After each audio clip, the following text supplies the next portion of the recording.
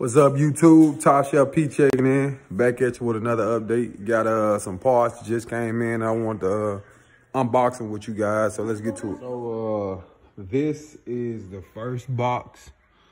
Uh appears to be my oil pan, which is a Holley oil pan. This is the part number 302-20. This is the muscle car oil pan. Ooh, decals.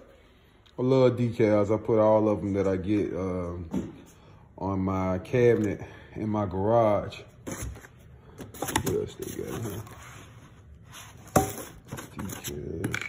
Don't know what part this is. Evidently it's needed. Um, don't know what this part is. But yeah, this is the muscle car oil pan for nakedwines.com. Delivery included. $100 wine voucher.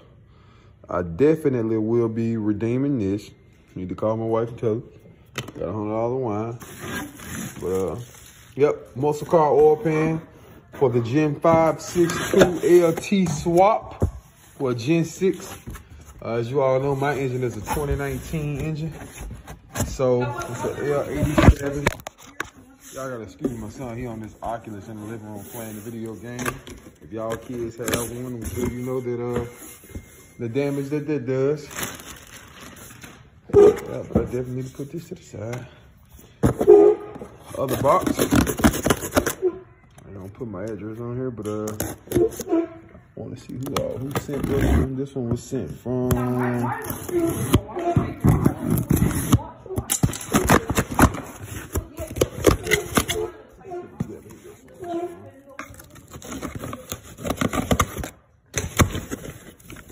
Huh, this is a neat packaging.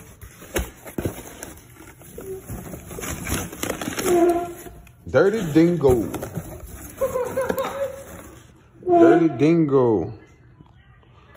Bracket kit. Alternator type 1 power steering with Sanden 508 AC. Billet power steering pump pulley. Non-LT water pump adapters, blah, blah, blah. And adapter plate. So those are my mounts. As you can see the price is Dirty Dingo. So if you guys uh wondering what setup I went with, this is the one that I went with. I will go through and unpackage these, but uh I think I'm gonna let my boy Sam to have that. And uh, I do want to do a um, thorough introduction to my new swap guy. He's here local in the um, DeSoto County, Memphis area, tri-state area where Arkansas, including there too.